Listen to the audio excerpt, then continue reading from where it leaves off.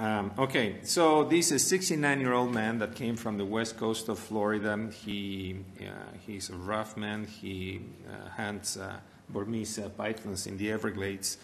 Had a cabbage 10 years ago, and he was admitted uh, for unstable angina. Um, he had uh, preserved uh, ejection fraction, moderate aortic stenosis, and um, they felt that um, the you know, they, they, they prefer that we take care of this patient. As you can see, the EKG is unremarkable. He has um, preserved ejection fraction, and the valve area is around 1.5. So this is a baseline cath that uh, they usually send me the pictures uh, over the iPhone. I take the patient, and then they come with a CD. Um, so you can see that there's um, there's a left main here, uh, left main stenosis there, and then there's a ramus. I think it's a ramus and the circumflex because the LAD is uh, occluded. Then one, that's one graft. That's the other graft that uh, are occluded. Then this is the, the right. I mean, it's hard to see there, but the right has a very, very tight uh, lesion there that is very calcified in, in the ostium. And they could barely engage there with, um, with an Amplatz catheter. So this is, uh, this is the other view of the right, and you can see the calcium, big, big chunk of calcium in its origin. This is a lima that goes to the LAD. Um, so, and this is again the ventricle. So we decided to take him, uh, and we decided that well, we're going to do it radially, uh, just because we can. So,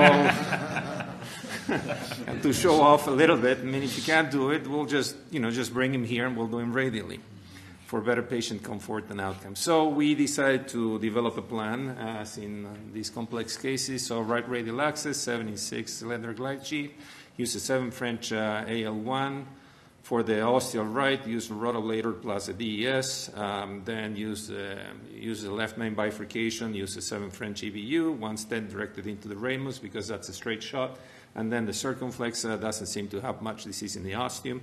So everything, uh, everything is set. So we went in. You can see how the, the, the, tip of the catheter is almost constrained there. I mean, and you can see the, you can see the contrast going and, and, and I'm barely filling that right corner. So this is what we decided to do. I, I, I don't know. I'm not very aggressive with uh, rotablator. I usually do one five, modify the plaque enough so I can dilate it and then can move on. And I usually try to use imaging. In this case, is just make sure that the stent is well expanded. Then we do further lesion preparation. I like to use the AngioSculpt. Then I continue to work on that, and we use a non-compliant 30 by 25. And then we have this. The plans now have changed. So there is one thing that is positive about this picture, uh, among all the negative, um, and it's that I still have a wire. So the one thing you don't want to do here is by accident pull the wire. Don't get too nervous. Just keep keep doing what you're supposed to do. Keep a cool head and, and, and have and develop a plan. So, in this case, uh, the patient, uh, he's very resilient. He started to say, Well, I have some pressure in my chest, and the STs were like off the roof in the monitor. And so we went in and. So, uh, so what's the diagnosis? Is this. Oh, okay, I'm sorry. I didn't say what the diagnosis is. What is this? So that everybody understands what we're talking about. Well, I mean, you tell me. that's what I was thinking. Yeah. I didn't say the diagnosis, but uh, you are absolutely right. We, I think it's a point to discuss. Yeah, I, and I think that uh, I think it's a it's a massive dissection. And deep I wall dissection. deep Yeah, wall deep wall This dissection. is not this is not a perforation. Yeah. So there is no free. There's no need to get an echo. Some people here immediately default. I need a bedside echo. There is no need for an echo. Correct. And there's no free flow of contrast. you have CTE as a caveat. And the other- the other So, key- so what's the next step? The other th- key thing to make sure is that the aorta is not affected. It looks like the aorta is not affected, so it's about three or four That's that, millimeters. that's. I mean, that's happened before. Yeah, Harry, that, I was going to say that that's the second good thing with having a wire down is that it doesn't. It's, it's not an ostial involvement So, of the. so what's the next step? So, so, so, so I guess, Ashish, Stop I'll injecting, you. okay. So we know it's a big dissection. Do Stop we think injecting is a The great dissection point, is from the rotablator followed by a 3O balloon, or is it a guide catheter dissection from uh, injection, maybe in an area that's uh, uh, unraveled? I mean, Maybe both. Uh, I think it's a, it's it's aggressive. It's all of the above. I don't think it's a rotablator. I don't think it's a rotablator. I Right. think it was very, very uh, aggressive balloon inflations uh, at very high pressures. So, so that was one of the comments I I was think going I, to I make. probably ripped off the calcium there and Right. then got the plaque loose. And then when I injected, that's that's what I got. Why not rotablator? Because we're in the ocean, we don't know if we're axial or not. So that's one of the things could happen.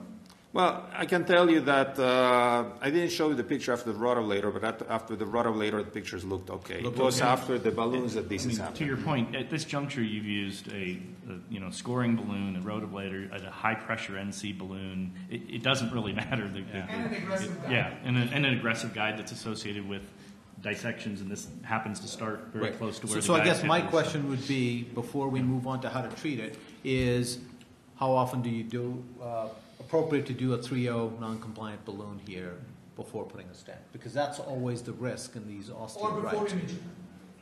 Or potentially before Well, you some need, kind I of mean, imaging you, to you, if you you're, need- the, the most pressing, the most pressing need here is to restore flow. The Sure. patient is getting unstable, No, no, and if said you don't, before. Hmm? Yeah. Yes. Oh, before. Well, I don't think I could pass. Uh, I could pass the.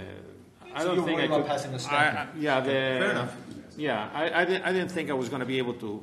First of all, um expand the stent, and I don't think I was going to be able to pass the IVUS. I already knew what the IVUS was going to show anyway, and the IVUS would, would be just for stent optimization in that case. I guess I, I think that the, maybe the point is that being less aggressive up front and then trying an imaging modality first, you know, May might, help might be an approach and could keep you out of out of this trouble. But trouble. to be honest, yeah, but a 3 is 3.0 balloon not was not like, he wasn't, No. it's not a 4 but the Yeah. vessel is clearly at least a 35. It's- it's- right? it's a big know. Yeah. So a 3.0 balloon was a very reasonable choice. So now, what, what do you? How are you? Okay, so what's this the next now? step then? Balloon and the guideliner. So what I so my best next step was for me at least was to restore flow, and the best way to restore flow in a dissection is just to tuck it with a stent. So that's what I did. Uh, so I advanced. Um, I first, uh, I mean, to be honest here, I mean that was not my first thing. I, I ballooned it a little bit more distally, and and then I and then I got a stent, a 30, uh, 35 by 38, but that's the furthest the stent would go. I could not get it past that point. Um, I'm glad that it was So were you trying to put the the stent more distal, right where the marginal comes off, or are you trying to put the stent right where the dissection is? I wanted to go as far distal as I could, so I would prevent the hematoma from continuing to progress. But I could not get the balloon. Uh, I could not get the stent any further than that because of the angle, because of the calcification, and you can see that the vessel is not straight. But were you going to target right where the mar- acute marginal comes off, RV, RV branch? Uh, I was gonna, yes, probably a little bit below there. Mm-hmm. Probably a little bit below there where the hematoma stops. And then you don't want to be injecting because that's uh, what happens. The hematoma continues to progress. So now I, I put the stent. Actually, in some ways, I kind of like this 'cause you because what it does is you prevent proximal extension Yeah. to Correct. cord as well. And as you're injecting, uh, Correct. you kind of uh, make that. So now you have The old paradigm of not stenting Proximal. is no longer applicable with guidelines. Right. So And I the newer generation stents, I think, are more deliverable. You know, we've learned a lot more about buddy wires and things. But I think with that 38, you would have been stenting the proximal aspect directly into the dissection. It- you know, it never would have been long enough to cover where you wanted to get Correct. to and the inflow of this. So So I'm here now. I cannot advance anything else. Um, so the dissection is sealed. Uh, the STs are coming down. The patient is still complaining of a little bit of chest pain. But I have, you can see that this is not a new lesion. This is just uh, hematoma in the wall of a vessel that is compressing the lumen. So we decided to um, go to the other techniques that we know. So we inflated the balloon and we used uh, the balloon anchoring technique. So a 3.5 by 10 Euphora balloon, then we advanced the guide liner. Uh, after that, uh, the delivery of the stent, um, I think was another 3.5 by 22 or so. And, uh, and I didn't think that I needed to really overlap the two stents because uh, the vessel was relatively healthy in between, and I was not worried that, that I mean, the vessel is big enough to be worried about the restenosis. So we retracted the, the guide liner. So this is a nice demonstration of that technique, especially for the fellows, the balloon anchoring technique and advancing the, the guide liner. You have to have everything ready because you get ischemic. Uh, you get ischemia if uh, sometimes with the guide liner across lesions. So we deployed the 3.5 by 22 uh, Resolute. In that situation, then the flow was restored. Now um, we can breathe. Um, Did you guys IVUS this at any point Uh, to try yeah, to determine so- where you were normal? Because that's one of the challenges. Is oftentimes you just keep toothpasting this intramural hematoma. Correct. And I, I personally, I mean, not. So I did I've IVUS. gone with a longer Uh, uh, so, so at this one. point, this, this was a point where we wanted to, because now you worry about, about this lesion here. Now you worry about the lesion, you want to make sure that you expand it, that you don't have an underexpanded stent, and that you have uh, covered the ostium. So we did IVUS imaging. So here you have, this is uh, at the distal stent. Uh, we, we went all the way down here, so there was no extra, there was no mural hematoma. This stent was well opposed. There was an interval free of stent that had uh, no hematoma in the wall that actually is reflecting what the, what the angiogram says. Then we have a little bit of a compressed uh, stent more proximally, and then right at the ostium, there's no stent. So then we decided to, well, it's uh, time to do another stent. So we advanced the 3.5 by 9 a Resolute. And now, you know, we knew it was a stepwise approach. The complication had happened. Now you have to cool uh, your mind and you, you know, you just need to develop your steps and the plans. So we, we put a, we put a cover, we covered the, the ostial RCA with, uh, with another stent, three five by 9. Uh, we further expanded that and that, and then we started to pat ourselves in the back with my with my fellow. Then we did IVUS again, and uh, I think it looks okay. The ostium is covered. I think that uh, uh, we were happy. So then I said, well, why not? Let's move on. Uh, my Russian fellow was in his last month of uh, fellowship, and he wanted uh, all the experience he could go, uh, he could get, and he was very, very encouraging. So that's, uh, Which is exactly. and, and it's so it's, it's so difficult to convince me, as you can see, that I said, okay, let's go. We have access. We're here. He's already anticoagulated. He's stable. So let's move on. The 300 contracts. Yeah. Um, well, by now we have uh, about 150 of contrast or so. Um, so we IVUSed, uh, we that, and you can see that there's an area that is slit-like. Even though you cannot see it here, you can see it better in the diagnostic pictures. But that left main, distal left main, has an area that is like, a, you know, it's like a slit, like a slit occlusion. So let, let's say, let's do it. So we were the what, I don't know if that's in Ramus or an LAD, but we wired that and uh, we put two different wires. Uh, we put the Prowater in the Circumflex, uh, the BMW in the Ramus. We used uh, the AngioSculpt, uh, the same we had used in the in the RCA. Um, things were looking good there, so we decided to go with a stent, provisional stenting as planned. I think the Circumflex looks okay, 3.5 by 12, simple case. Uh, then we deploy the stent, and now we wanted to do a little bit of uh, proximal optimization. Wanted to rewire and perhaps uh, go through the go through the side. So we're looking good.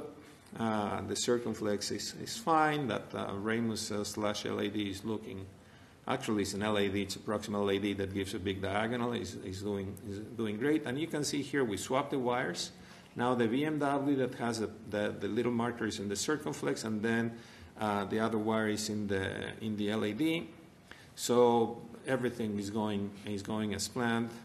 So um, then when we advance a balloon, we advance a 4.0 by 12. Then my fellow says, you know, he's a big guy, Russian, and he says, uh, I'm having some difficulties, but don't worry, I get it, I get it through. So, so he got it through. and so we, we, able to optimize, to do the proximal optimization of that uh, stent. Um, and uh, so, and then we decided to go ahead and do IVUS. So we do IVUS. And then you can see that the stent is well opposed there in the LAD. Here the, you can see the wire coming in uh, from the circumflex. And now I hope that you're going to be able to tell me uh, everything's looking good, looking good, looking good. Is that still looking good? Uh, I can repeat that, or I can show you this picture here, um, and uh, there is the answer. So in the proximal part of the left main, and this is why the fellow felt resistance while advancing the balloon, you can see that when we rewired the, the LAD, we actually didn't wire through the stent. It went through the side and then, uh, and then into the LAD. So part of the stent is well opposed, but then the proximal, the proximal part of the stent in the left main is crushed to the side. So that's a that's a you know that's a second save of this case, hopefully. and one thing that is very that is very nice about this is that if you if you look carefully, you can still see that there's a wire through the lumen of a vessel going into the circ. So that was um, our lifeline because getting, I mean, saving this situation without uh, without the wire through the true lumen would be very very difficult. It's just very difficult to see. So we went ahead and inflated two five Euphora balloon into that um, into that uh, through the, the the wire in the circ just to expand the proximal part of the stent. Then that was easy. We rewired again, uh, rewired the LAD, and expanded the stent now uh, to a 40 by 12. And we were feeling confident. Um, then these are the final pictures. And here is the IVUS, and you can see now that uh, the, you can see there the polygon of confluence, and you can see that the stent is well opposed uh, to the wall all the way to, to the ostium. So the polygon of confluence looks actually very nice and, and well expanded. I don't have the measures here. Um, but um, I think in, in, in globally was safe, uh, safe times two in this case. Um, you know, you always have to, to develop a primary plan, but things can always change along the way. Uh, if you're going to do calcified lesions and complex PCI, I think imaging uh, is very, very important. I think helped us a great deal. Always come up with alternative plans and always uh, learn during the fellowship uh, how to get out of trouble. Come to CVI. Uh, to learn more about how to get yourself out of trouble and always be creative. Thank you so much.